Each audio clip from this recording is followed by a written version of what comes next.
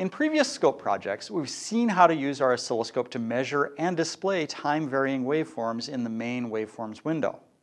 We can determine parameters we want directly from the main window, of course, but sometimes it's a bit tedious to make these measurements ourselves. There are quite a few tools available that can help make these measurements easier. Two of those, cursors and measurements, are the subject of this project.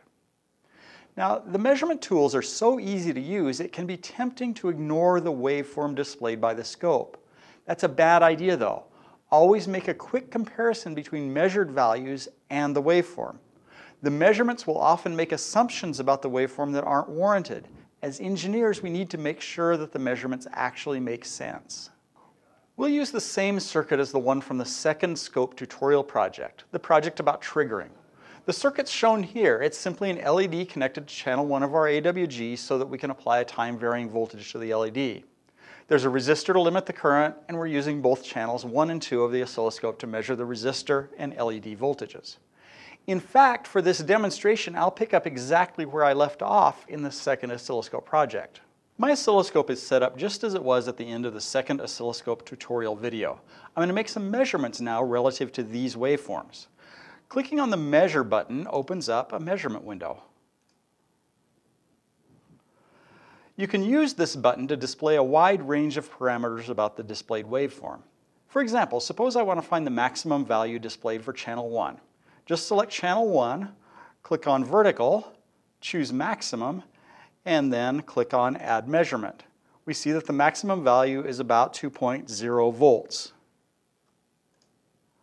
The measurement tool provides a wide range of options, but won't let you display everything you may be interested in.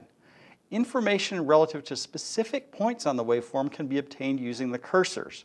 The cursors are accessed by these little icons at the upper right and lower left of the display screen. The icon in the upper right sets vertical cursors, and the icon in the lower left sets horizontal cursors. For example, suppose I want to find the time duration of this peak on channel 2.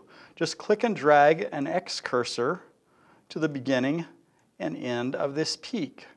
The times associated with each cursor are displayed along with the change in time. dx is 23.5 milliseconds. I want to reemphasize that these tools make it easy to take measurements but should not be relied on entirely. Always compare measurements to the actual waveform shape in the main window. That's the only way you can determine whether the measurement you're making is appropriate.